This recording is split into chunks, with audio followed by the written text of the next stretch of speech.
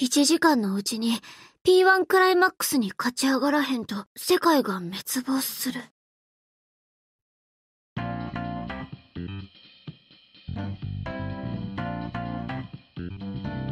Now, a couple months back, there were two big announcements in the Persona franchise, such as the new installment in the Persona series, Persona 5, as well as a new Vita game, Persona 4 Dancing All Night, which recently released in Japan and isn't too far from being released in the US.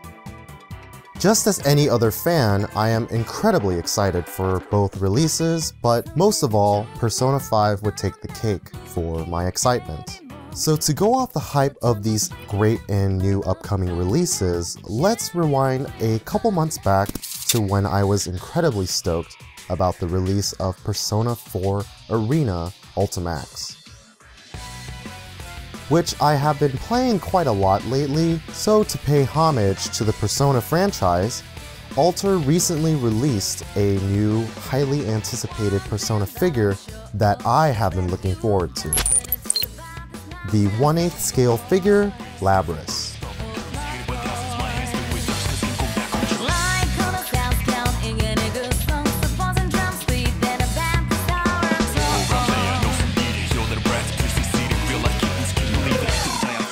A new character exclusive to the Persona 4 fighting game series, where Labrys made her debut in the vanilla version, Persona 4 Arena, as well as reoccurring in the new sequel, Persona 4 Arena Ultimax.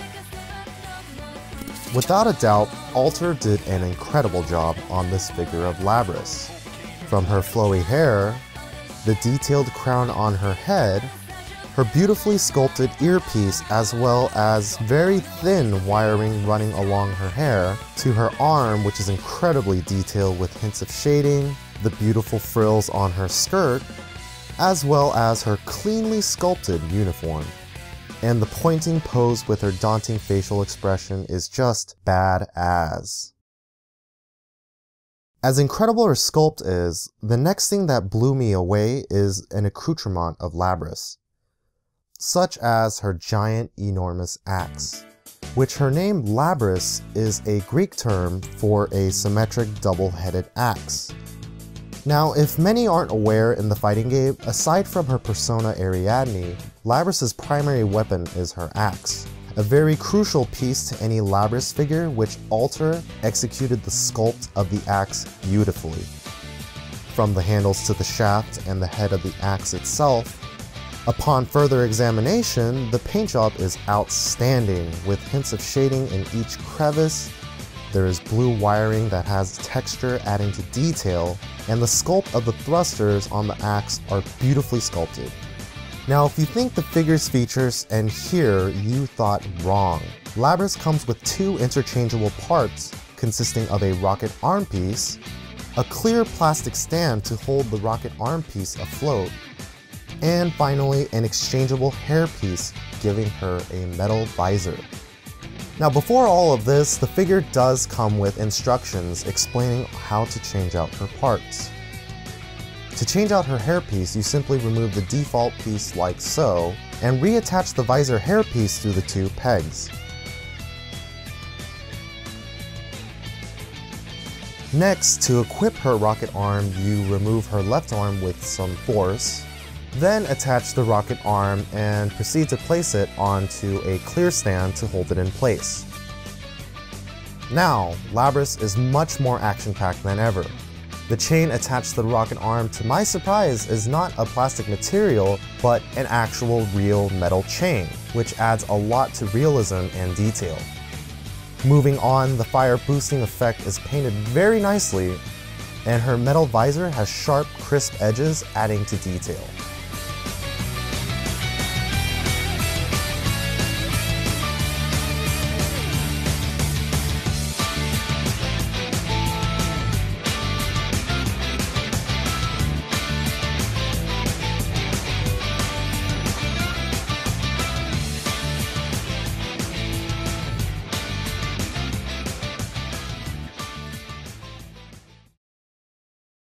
Now, I purchased Labrys from Ami Ami on pre-order release for about 15,160 yen, which from my knowledge during the exchange rate is about $140, $130. If memory serves me correctly, she was not delayed and surprisingly from an alter figure released on time. Finally, moving on to my pros and cons of the figure. Overall, I am blown away by the sheer size and detail of this figure. To be honest, I really can't point out any flaws in this figure, as she is just flawless. If I had to nitpick, and I mean really nitpick, I would have wished if her axe had a better feature on securing it to the base. Otherwise, she is a fantastic figure, and definitely a must for any Persona fan. Anywho guys, that concludes this review for Labrys. Be sure to thumbs up and leave a comment down below regarding questions or anything related to the figure. New viewers who stumbled upon this video, please check out my channel, check out my other videos as I do figure reviews, to loot hauls, to other anime related content. And if you haven't, then please hit that subscribe button as this will let you know when I come out with future videos and all that subscribe button takes is just a click. So as always guys, see you guys in the next video.